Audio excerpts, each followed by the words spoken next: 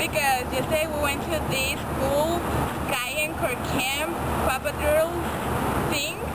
Um, he, he had a really good ministry and check it out what happened.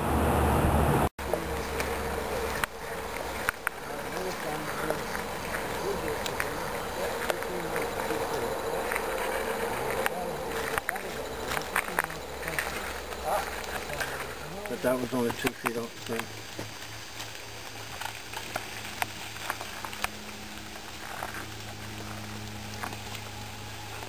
That's all the time. You tore up your britches.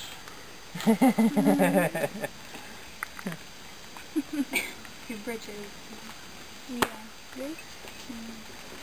You know, I, I, I still have trouble wearing jeans because when I was growing up, if you wore jeans, it meant you were poor. Right.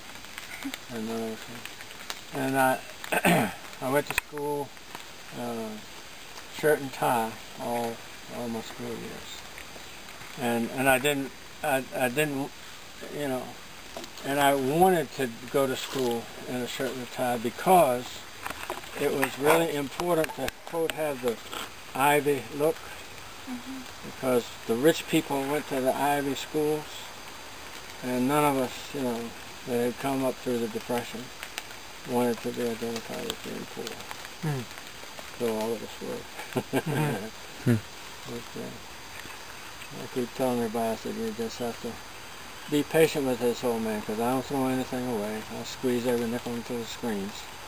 And, uh, but, uh, I, I, my children used to tell me, I said, what was it your dad? I said, I never had a new bicycle. You got a new bicycle? Then you're doing better than your dad. That's so relax.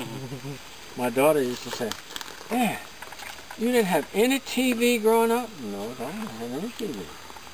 Well, how, what did you do? I said, well, I tell you what, I used my imagination the whole lot. So that's what we did yesterday. Um, tomorrow we're gonna go to the to Washington to the Muslim prayer.